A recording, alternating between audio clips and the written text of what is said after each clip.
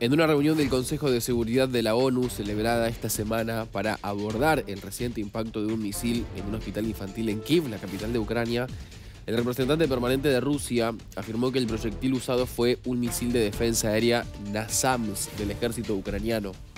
Destacó la posibilidad de que el arma fuera entregada por Noruega. Moscú también señaló que Kiev usó la tragedia como pretexto para presionar a Estados Unidos y promover sus propios intereses.